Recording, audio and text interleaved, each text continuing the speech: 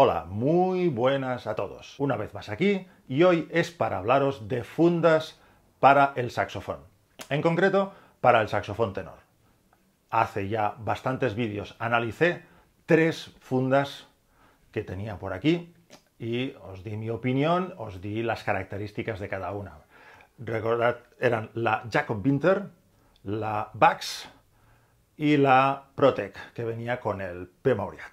Y hoy hablaremos de dos modelos de la misma marca, de la marca Gator o Gator, depende de si se pronuncia, supongo, en inglés o en español, tal y como está escrito. Una me llegó con un saxofón y la otra la he comprado yo de, de moto propio por una sencilla razón que os explico ahora.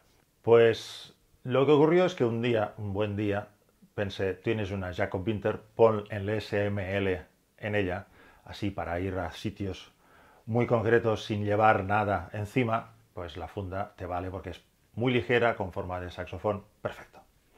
¿Y qué me encontré? Me encontré que la Jacob Winter tiene el espacio para el túnel tumbado, o sea, tiene la horma marcada con la S de lateral.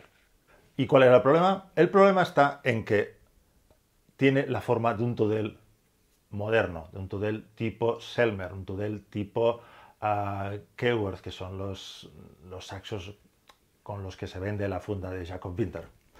Y yo tengo un SML que tiene este nervio aquí para que no se torza el tudel, por lo tanto está fuera de la zona. Y, oh sorpresa, eso hacía que esa funda no me valiera. Por lo tanto, dos fundas Gator hoy a examen. Funda con exterior duro, como podéis comprobar. Fibra de vidrio, supongo. Funda con tres cierres. Apertura muy fácil. Con su asa. Y con su cinta y encajes para llevarla colgada. Pero no tiene ninguna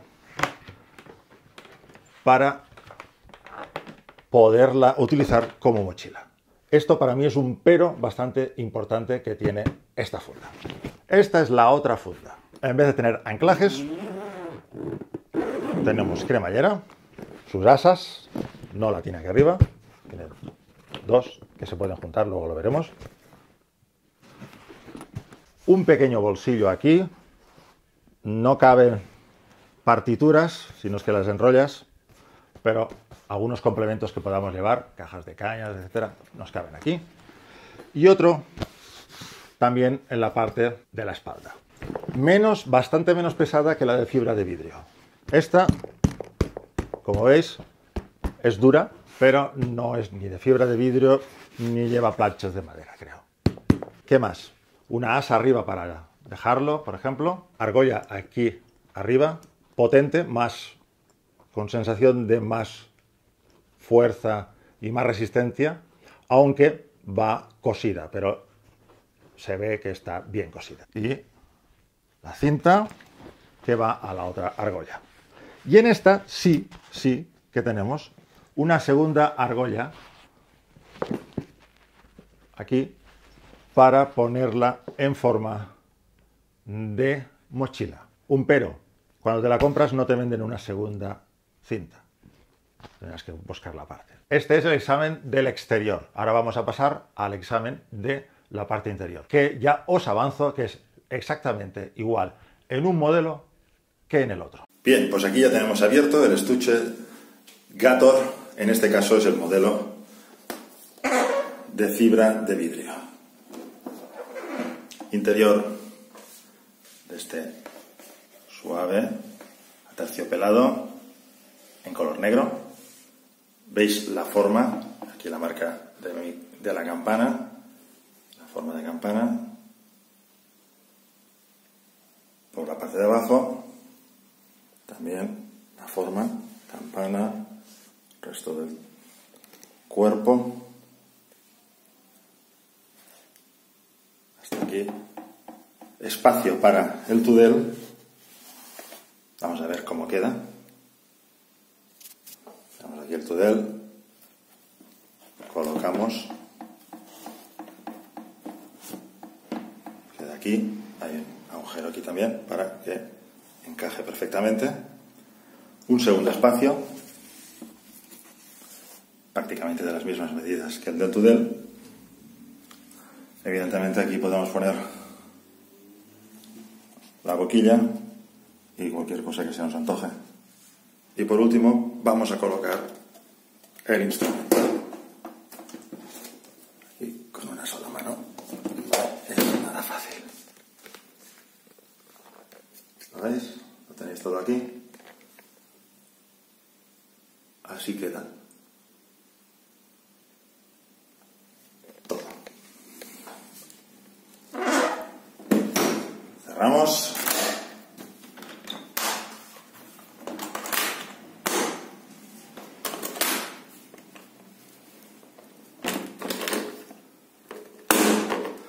Como podéis comprobar, ambas fundas se pueden poner de pie sin ningún problema. Aunque, aunque la verdad el sistema de la de fibra de vídeo es mucho más grande y mucho más seguro. Yo, en este caso, dejarlo de pie en un estuche ya es un peligro, pero con la textil aún no es más porque es muy inestable. Y como os dije antes, la asa tiene este sistema que para abrirla tienes que desencajar una parte de la otra. A ver si logro encajarla así, con una mano. Por último, nos la colgamos.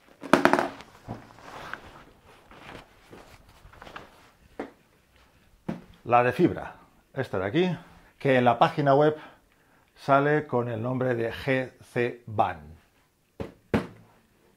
Es el modelo GC Ban. Lo podéis ver aquí, lo tienes al lado, sale por aquí.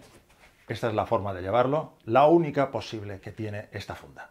La otra, la que en la página de Gator sale como GL Band. Se puede llevar más hacia la espalda, apoyada aquí en toda la espalda, es justo al revés de como llevaba la otra. ¿Lo veis?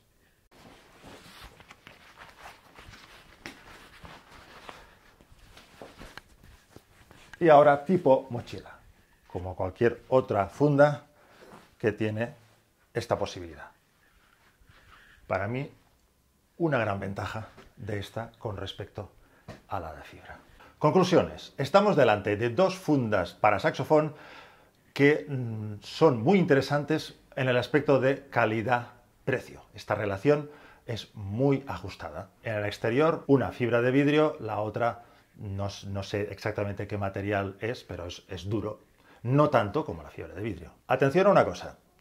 Siempre tendemos a pensar que una funda muy rígida protegerá mejor al instrumento. Sí y no. Anécdota personal, se me cayó hace muchos años, cuando empezaban a ver las fundas de fibra, se me cayó una por unas escaleras, la funda no se hizo nada, pero en el interior el saxo me salió con el tubo normal, pero toda la campana y el codo se había desplazado. De hecho, tuve que llevarlo al luthier porque la campana era movible hacia un lado u otro. Lo mismo pasa con los coches, ¿no? Hace muchos años los coches llevaban unos parachoques metálicos duros para que el impacto no lo arrugara, no lo estropeara, pero luego el impacto se lo llevaba el conductor. Ahora los coches están pensados de otra manera y el impacto hace que se arrugue, con lo cual amortigua mucho mejor la energía que crea el impacto y mmm, se ve menos perjudicado el conductor. Y supongo que por la misma regla de tres, la funda. Por el peso, esta pesa mucho menos que la de fibra. Por los bolsillos, prefiero esta.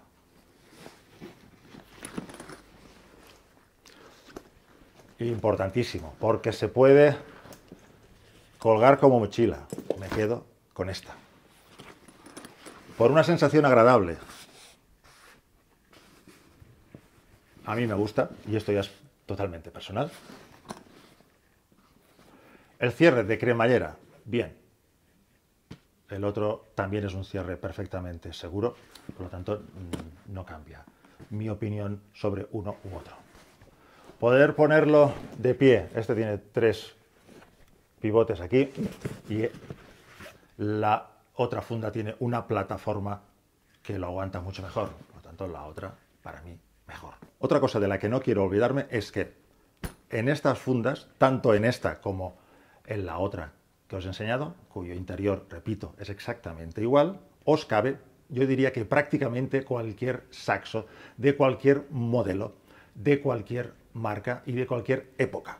Hay la preforma del instrumento, pero no está ajustada al 100% como en otras fundas mucho más caras y mucho más buenas, pero que prácticamente están especializadas en saxos con la digitación Selmer.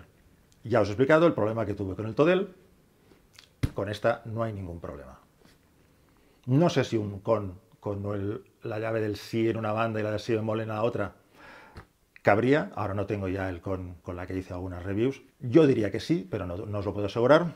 Otro modelo, por ejemplo, como es el Martin que tiene si, si bemol, me parece que la banda izquierda en vez de la derecha, quiero recordar, podría caber perfectamente en este, porque la performance interior no es exactamente dibujada con un modelo concreto. En definitiva, estamos hablando de fundas que rondan los 100 euros como máximo y que realmente si la hubiera tenido antes que la Jacob Winter, no me hubiera comprado la Jacob Winter, que es más cara, porque esta cumple para mí las mismas funciones, tiene la misma sensación de seguridad que la Jacob Winter, tiene algunos bolsillitos, por tanto es perfecto. No suelo ser tan efusivo con una review, pero en este caso la verdad es que encuentro que la relación calidad-precio es de lo mejor que hay en el mercado. Si estáis de acuerdo o no estáis de acuerdo, si queréis hacer algún comentario, como siempre, abajo yo los voy contestando a medida de lo que puedo. Pues bien, esto ha sido todo por hoy. Vídeo de fundas. El próximo ya veremos de qué será. Mientras, a ser felices hasta la próxima.